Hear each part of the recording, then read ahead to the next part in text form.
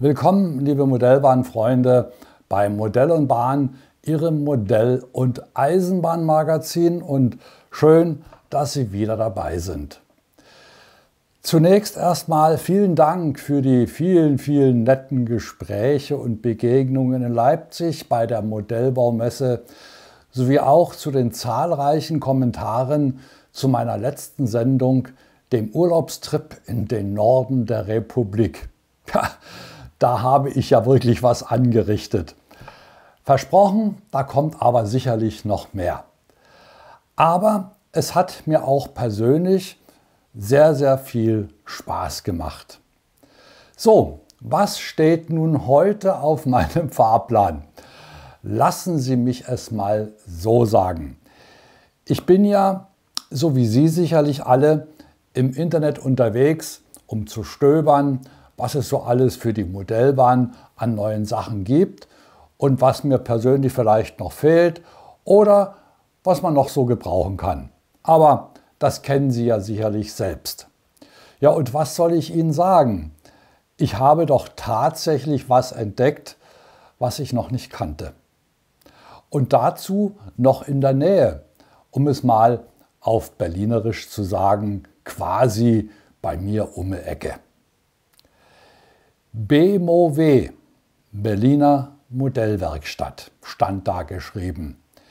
Dem Atelier für Patinierungen, Kleinstserienfertigung, Digitalstützpunkt und Fachwerkstatt sowie einen Online-Modellbahnfachhandel.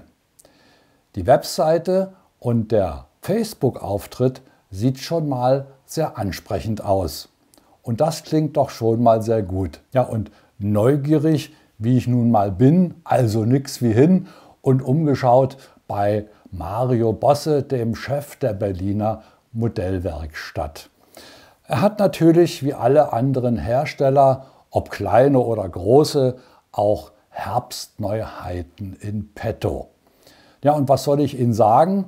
Ich habe mir einen Teil davon eingepackt, um es Ihnen heute einfach mal vorzustellen.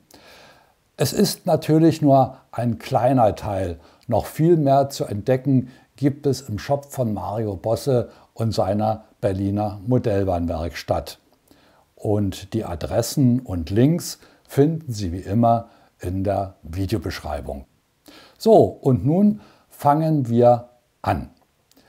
Ich habe hier eine Auswahl an Bauelementen dabei aus der Edition Strukturelemente in der Nenngröße 1 zu 87 und 1 zu 120 für den perfekten Anlagenbau mitgebracht. Noch ein Wort zum Material. Es lässt sich besonders leicht bearbeiten, schneiden, sägen, fräsen und so weiter. Ist aus einem speziellen Werkstoff, dazu sage ich dann gleich noch etwas, von Hand gegossen, kann mit fast allen handelsüblichen Farben und auch Pigmenten nach Wunsch eingefärbt werden.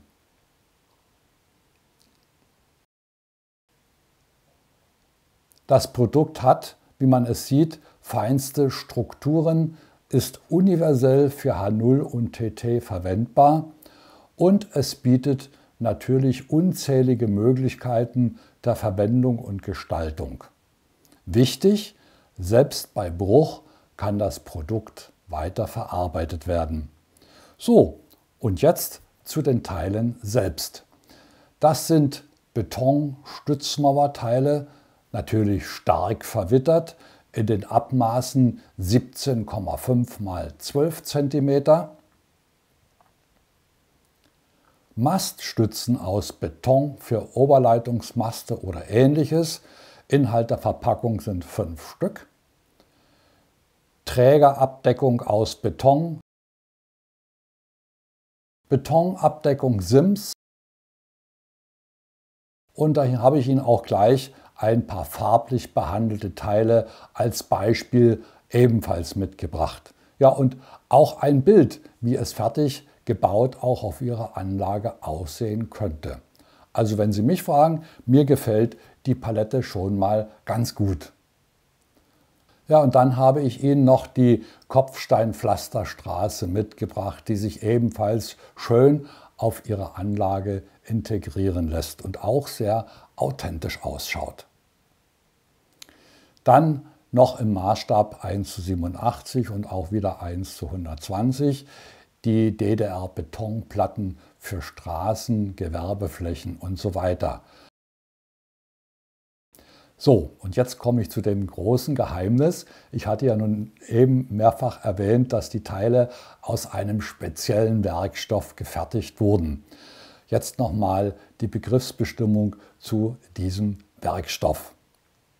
Dieser Werkstoff ist also eine spezielle von Berliner Modellwerkstatt in einer langen Testphase ermittelte, entwickelte optimale Mischung aus einem speziellen flüssigen Kunststoff und Modellgips bestehende Gießmasse. So, jetzt wissen Sie Bescheid. Und jetzt, liebe Freunde, komme ich zu drei Neuheiten in Nenngröße H0. Darauf befreue ich mich schon besonders sehr. Und zwar ein Pkw Trabant 601 Universal des VW Sachsenring Zwickau Kundendienstfahrzeug. Ich hatte auch mal ein Trabant 601 Kombi, muss man so ganz nebenbei. Jetzt komme ich aber erstmal zu den Modelldetails. Die Karosse ist ausgeführt in Hochglanzlackierung, ist ausgerüstet oder nachgerüstet mit einer hauchdünn schwarze flexible Antenne auf dem linken Kotflügel. Die hintere Seitenscheiben und Heckscheibe sind in Wagenfarbe lackiert. Es gibt eine farbige Inneneinrichtung bei dem Auto. Dach ist in Schwarz mit einer alufarbenen Regenrinne ausgeführt. Der Trabant hat schwarz lackierte Außenspiegel, hat alufarbene Lampenringe der Rücklichter, von Hand gefertigte, extra angesetzte Nebelschlussleuchte und Rückfahrleuchte auf der hinteren Stoßstange, zwei von Hand gefertigte Nebelscheinwerfer auf der vorderen Stoßstange, hat schwarz lackierte Scheibenwischerarme, schwarz lackierte Einstiegsleisten, farbig abgesetzte Türgriffe, metallic lackierte Radfelgen, von Hand aufgebrachte Beschriftung auf der Fahrer- und Beifahrertür. Uff, sage ich da nur, das ist eine Menge Holz an so einem kleinen Auto. Ja, und da ein Trabant nicht alleine kommt, kommt gleich der zweite hinterher. Ebenfalls ein Trabant 601 Universal Orvo Kundendienst des VEB Photochemisches Kombinat Wolfen. Auch hier ein paar Modelldetails. Original Orvo Logo auf den Türen, Heckklappe mit Aufschrift VEB Photochemisches Kombinat Wolfen, hat ebenfalls eine hauchdünne schwarze flexible Antenne auf der Beifahrerseite, ebenfalls eine farbige Inneneinrichtung, silberne Regenrinne, silbern lackierte Außenspiegel und silbern lackierte Scheibenwischerarme. Ja, und da zwei Trabanten nicht alleine kommt, nun der dritte im Bunde. Das ist ein Pkw Trabant 601 Universal Isolator Edition. Auch hier meine Beschreibung dazu. Isolator war, wie Sie vielleicht wissen, die gängige Zündkerzenmarke in der DDR und da kommt auch dieser Spruch her, damit der Funke überspringt, nimm Isolator Zündkerzen. Und damit bei Ihnen der Funke auf der Anlage überspringt, gehört er natürlich auch auf Ihre Anlage. So, auch hier eine Beschreibung der Ausführung dieses Fahrzeugs. Zu den Modelldetails. Von Hand aufgebrachte Beschriftung Servicefahrzeug auf der Heckklappe. Hat eine hauchdünne schwarze flexible Antenne auf dem Fahrzeugdach, besitzt ebenfalls eine farbige Inneneinrichtung. Es ist eine händisch lackierte silberne Regenrinne vorhanden und auch händisch lackierte Außenspiegel. Ebenfalls Handarbeit, lackierte alufarbene Lampenringe der Scheinwerfer, alufarbener lackierter Kühlergrill und von Hand silbern lackierte Scheibenwischerarme.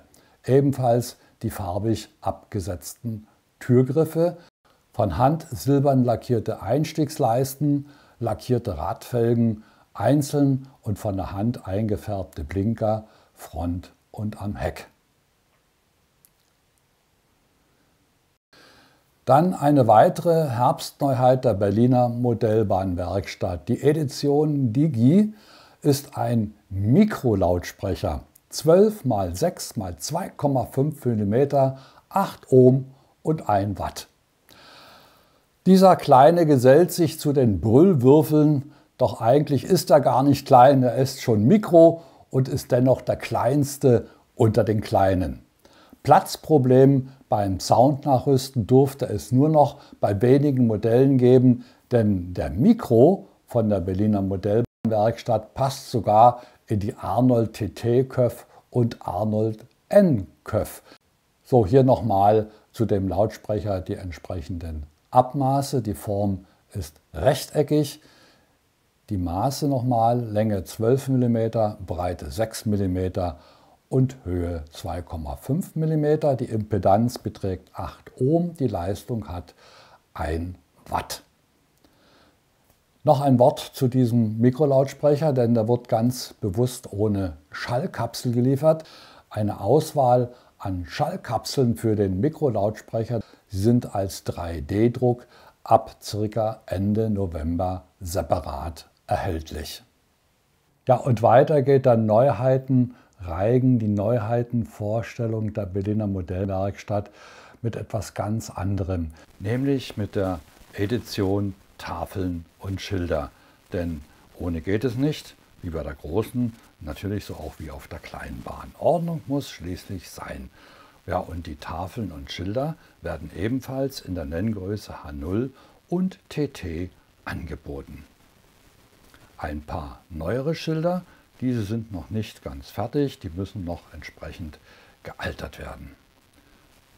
Diese Schilder sind aber bereits aus der neuen Kollektion des Jahres 2024. Ja, und jetzt, liebe Freunde, komme ich eigentlich zu der Überraschung, auf die ich mich die ganze Sendung lang schon freue. Es ist ein TT-Autotransportwagen HCC RRS 5860 von ARS Altmann AG. Und den gleichen Wagen gibt es auch in Nenngröße 1 zu 87, also sprich für die H0-Bahner. Ja, dieser Autotransportwagen der ARS Altmann AG ist ein Epoche 5 Modell, ein Kleinserienmodell in hochauflösenden 3D-Druck und ich habe die große Freude, Ihnen zumindest die Handmuster schon mal präsentieren zu dürfen. Und muss auch dazu sagen, sie sind eine limitierte Auflage in H0 wie auch in TT. So, das Modell weist feinste Details und scharfe Gravuren auf, hat zahlreiche feinste MS-Ads-Bauteile, hat Leichtlauf-Präzisionsradsätze, MS Achslagerbuchsen, besitzt eine NEM-Kurzkupplungskulisse mit NEM-Kupplungsaufnahme. Das Modell kommt fertig lackiert zu Ihnen nach Hause in gelb-grau und ist natürlich auch beschriftet. Außerdem liegen noch einige Zurüstteile bei, die dann von selbst von Ihnen angebracht werden können. Und wie gesagt, dieses Modell gibt es in H0 und TT und ist in limitierter Auflage zu erhalten. Die Beschreibung und auch die Bestellmodi finden Sie natürlich dann auch auf der Webseite vom Berliner Modellwerkstatt. So, und jetzt zum Ende meiner kleinen Neuheitenpräsentation noch ein Blick auf die Alterung an Fahrzeugen, denn das ist ja eine Spezialität der Berliner Modellwerkstatt. Ich habe hier noch ein paar Beispiele, die ich Ihnen gerne zeigen möchte.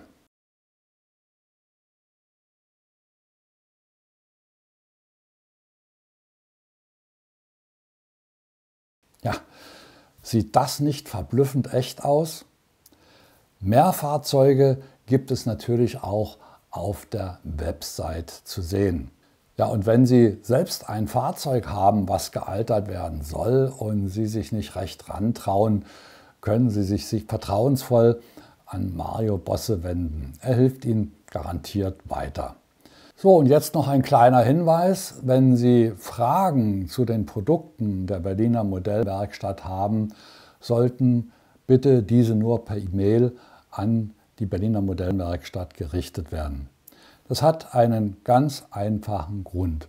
Mario Bosse ist quasi ein Einmannbetrieb und damit er tagsüber in Ruhe seine Aufträge abarbeiten kann, bittet er darum, Anfragen, Wünsche und so weiter wirklich nur per E-Mail an ihn zu richten. Auch diese Adressen finden Sie unten in der Videobeschreibung. Und die Mails werden natürlich in der Regel innerhalb von 24 Stunden auch beantwortet. Ich glaube, damit kann man auch ganz gut leben.